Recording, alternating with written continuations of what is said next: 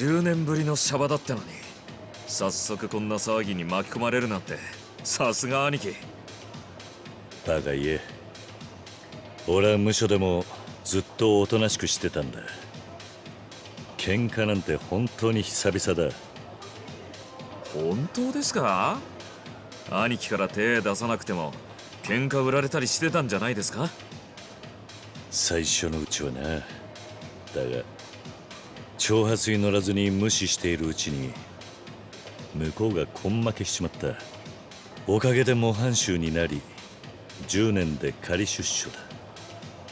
あの喧嘩っ早かった兄貴が10年間喧嘩ゼロと。はまそんなところも兄貴らしいですね。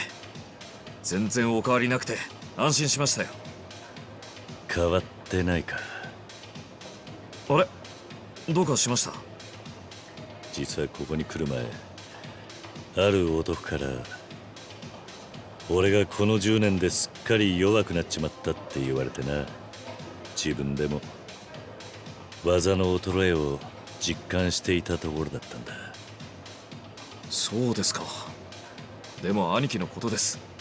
すぐに昔の感覚を思い出して10年前みたいにキレのある技を出せるようになりますよ。だといいんだがなそれで葬儀会場の件ですが登場会の連中が大勢いますから兄貴の正体がバレるとまずいことになります。正直何が起こるかわからないですからできるだけの準備はしておいた方がいいですよ。もう準備はできましたか？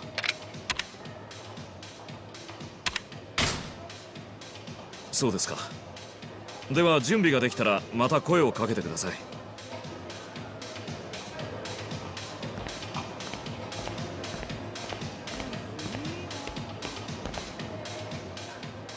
もう準備はできましたか？わかりました。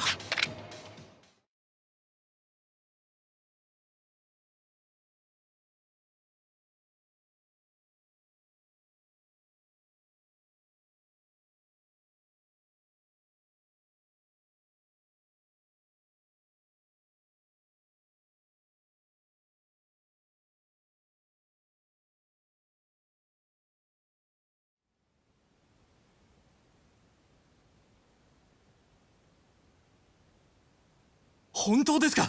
柏木さん。何驚いてんだ？お前のここ最近の働きからしたら別におかしな話じゃないだろ。でもまさか俺が自分の組を持てるなんて。とはいえいきなり組持てって言っても手駒がいねえだろ。うちから腕利きのやつを何人か出すからそいつらうまく使ってしのぎについて勉強しろ。柏木さんありがとうございます。礼なら風間の親父に言え。これはもともと親父が言い出したことなんだからな。おやっさんが？親父もそれだけお前には期待してるってことだ。それに桐生のこともある。え？桐生が？どうかしたんですか？あんなことになっちまったとはいえいつか桐生がシャバに出てくる日が来る。体裁上破門ということになっちゃいるが絶縁じゃねえ。復帰の目もあるだろう。だが親殺しのあいつを風間組で引き取るわけにはいかん。だからお前が桐生の受け皿になってやれ。俺が桐生の？そうだ。戻ってきたあいつの面倒を見れるのはお前しかいない。お前が錦山組をでかくしてあいつを迎えてやれ。はい。俺桐生のためにも頑張ります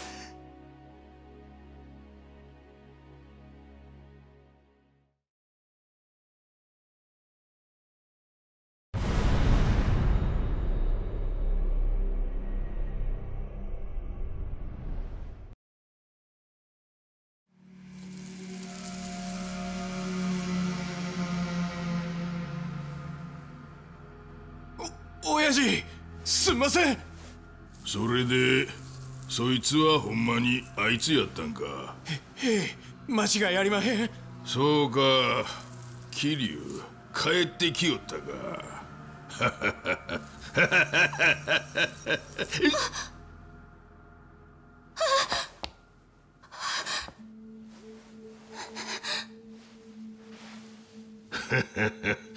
なあ桐生は相変わらずごっついやつやったんか？ええ。それはもう。そうかそうか。ご苦労やったの。ちょっと手出してみや。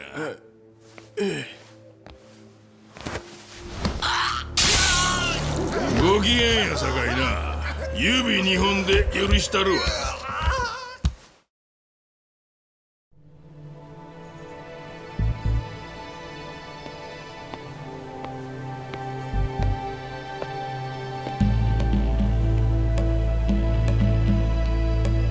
いいですか？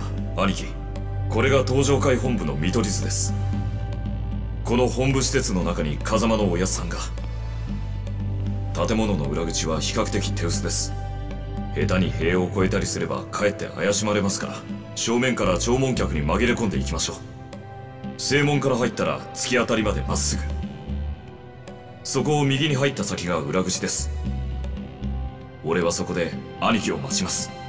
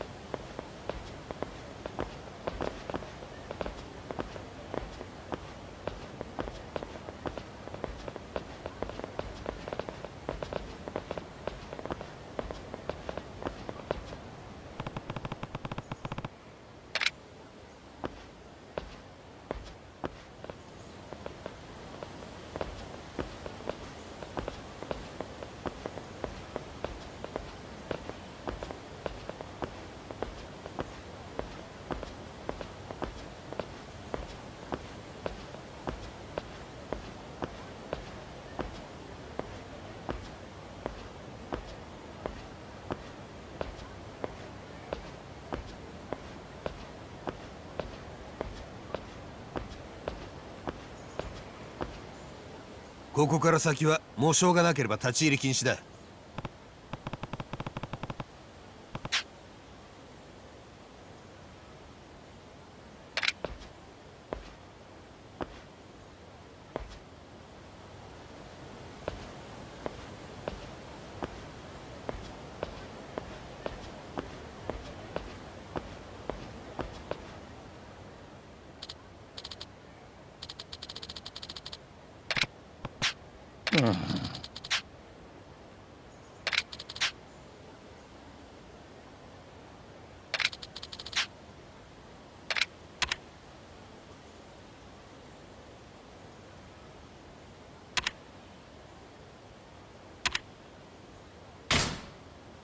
Hmm.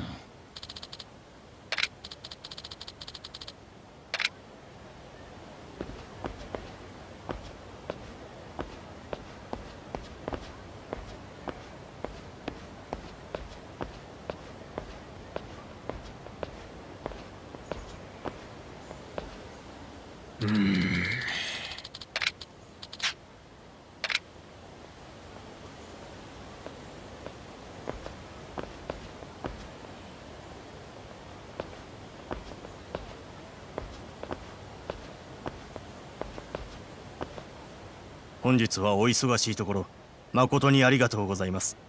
こちらにお名前をご記入ください。名前を書くのか。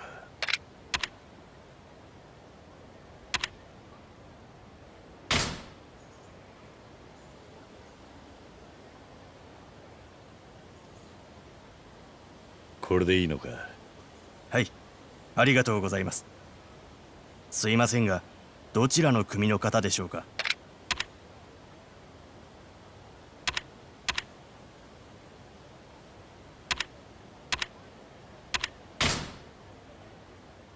風間組だ。風間組？俺も風間組なんだがお前の顔は知らねえな。お前怪しいぞ。おいこいつを叩き出せ！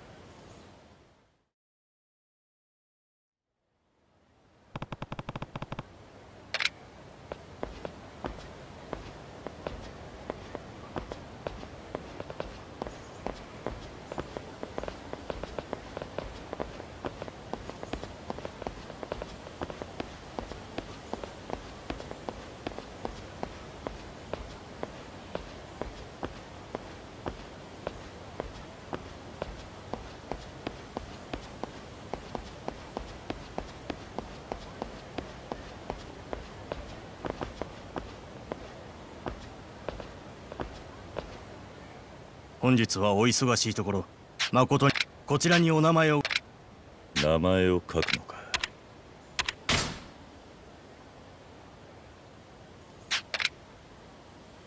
これでいいのか。はい。すいませんがどちらの組の方でしょうか？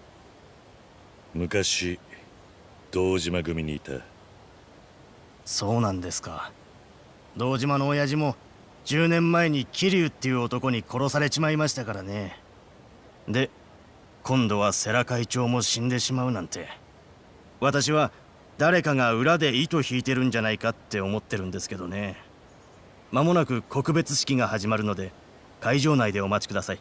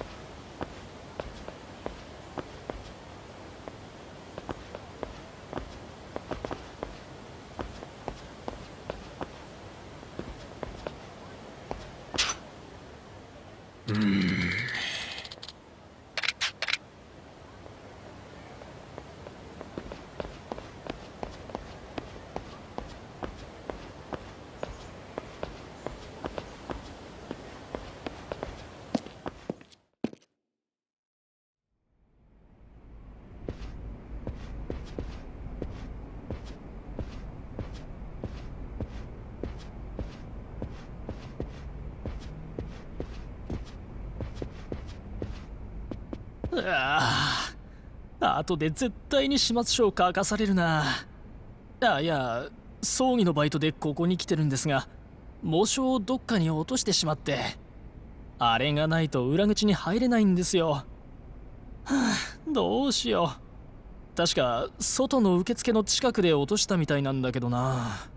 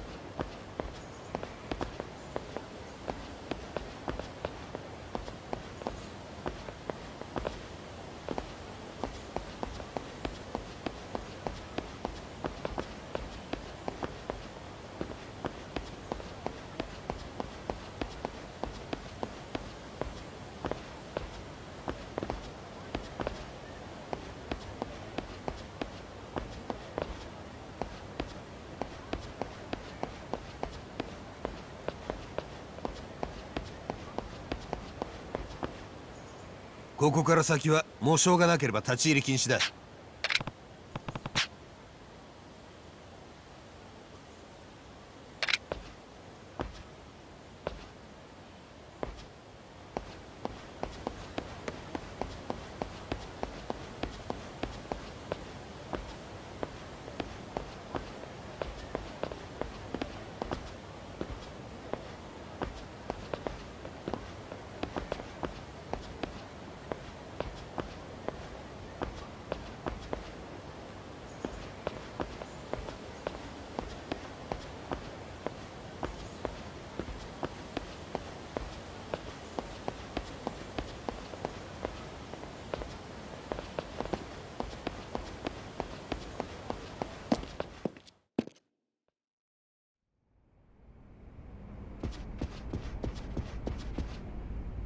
ああいや葬儀あれがないと裏口に入れないんだ確か外の受付の近くで。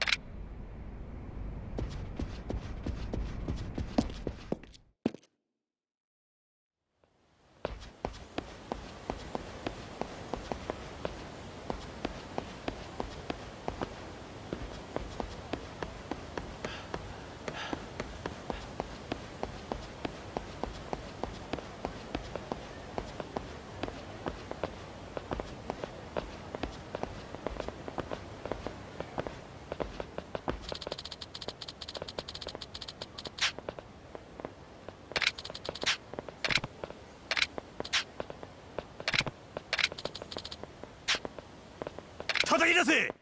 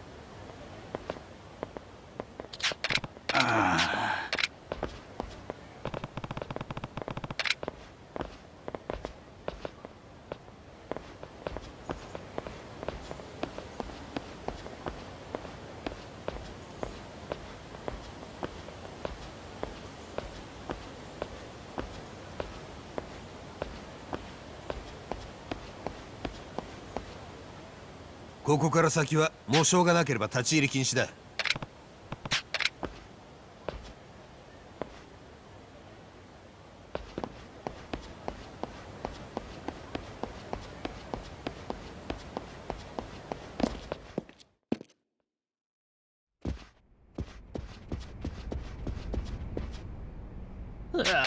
いや葬儀の場合あれがないと裏口に入れないんですよ。確か外の受付の近く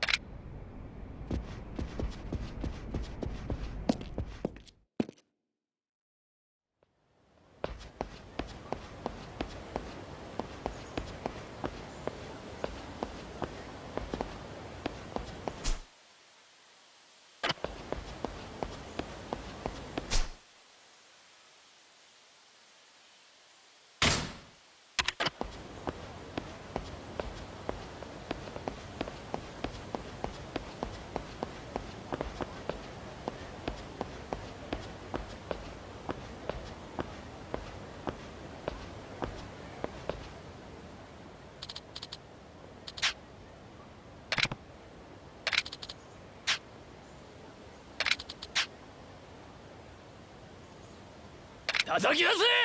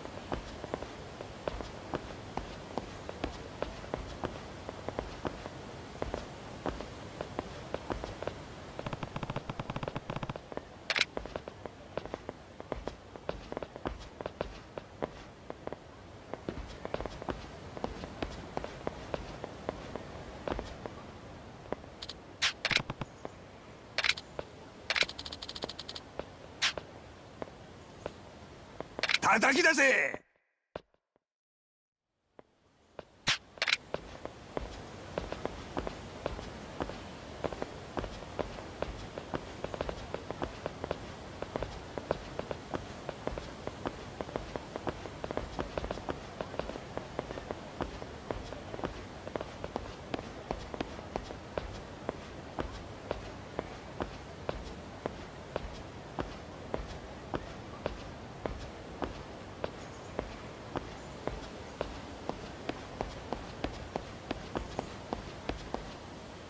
ここか